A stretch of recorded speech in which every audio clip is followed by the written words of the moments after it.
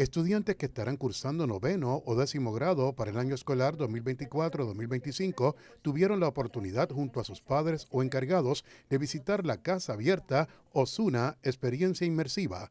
Y es que la Escuela Especializada en Producción de Radio y Televisión los invitó a sumergirse en el fascinante mundo de la producción audiovisual.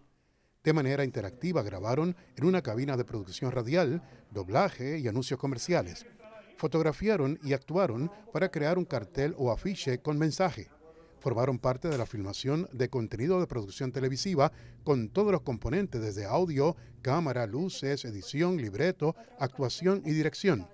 Todo trabajado por los propios estudiantes ya matriculados, los interesados en inscribirse y los padres.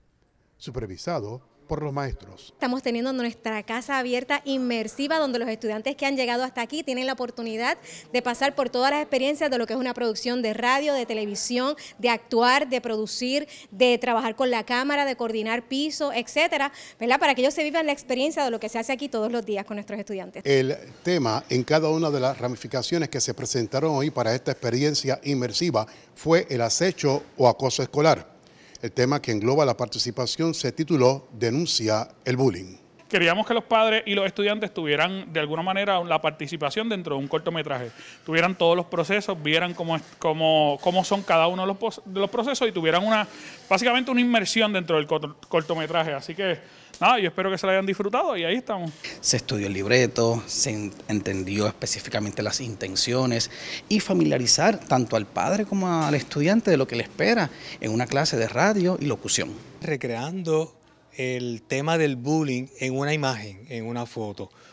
¿Cómo lo podemos hacer? Bueno, pues le hemos, dado unas instrucciones y ellos eh, seleccionan la escena y ¿Cómo lo harían? Dentro de la fotografía tenemos diferentes técnicas, elementos para esa composición, donde tienes que buscar eh, los puntos de vista, perspectiva, y ahí se convierte esa fotografía en arte. Mira, es una experiencia sumamente interesante, súper buena.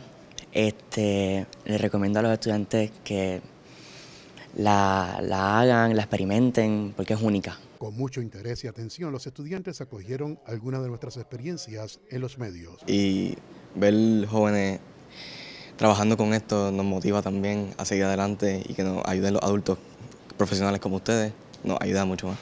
Si como estudiante, padre o encargado está interesado en obtener más información o inscribirse, todavía está a tiempo. Entran a la página de Juan José Osuna, ya sea en Facebook o Instagram, ahí les va a aparecer un QR code con la solicitud de admisión y ahí simplemente la llenan y le va a decir los pasos a seguir. Hay tres requisitos.